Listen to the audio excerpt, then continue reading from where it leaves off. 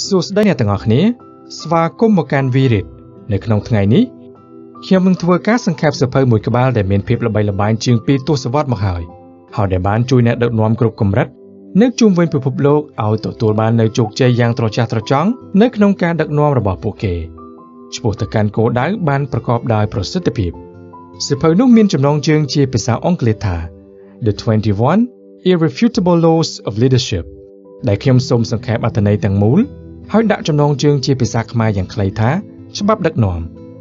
ជាមួយនឹងចំណងជើងតូចពីខាងក្រោមយ៉ាងតាក់ទាញថាអនុវត្តច្បាប់នេះពេលណា មនុស្សនឹងដើរតាមអ្នករឿងល្អល្អនឹងកើតមានឡើងចំពោះអ្នកប្រសិនបើអ្នកអាចអនុវត្តបានគ្រប់ទាំង21ចំណុច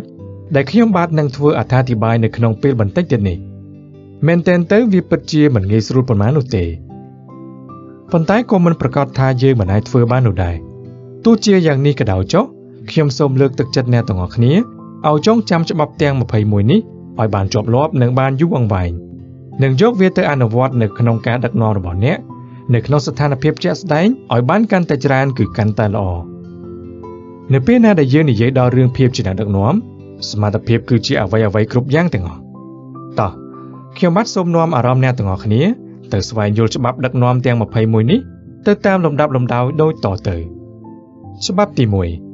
អ្វីគ្រប់យ៉ាងអាស្រ័យទៅតាមសមត្ថភាពនៃអ្នកដឹកនាំអ្នកដឹកនាំស្ថាប័នទាំងអស់មិនថាស្ថាប័នតូចឬក៏ធំនោះទេ គឺជាអ្នកកាត់ចង្កូតនៃស្ថាប័ននោះ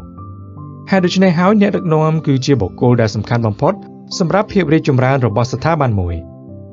ពីព្រោះថាគ្មានស្ថាប័នណាមួយមានសមត្ថភាពខ្ពស់ជាងសមត្ថភាពនៃអ្នកដឹកនាំដែលមានសិទ្ធិអំណាចគ្រប់គ្រាន់ក្នុងការធ្វើការសម្រេចចិត្តសំខាន់សំខាន់សម្រាប់ស្ថាប័ននោះឡើយ មិនខុសអ្វីពីស្ដាប់សិភៅ120ក្បាលក្នុងមួយឆ្នាំ នៅលើវីរី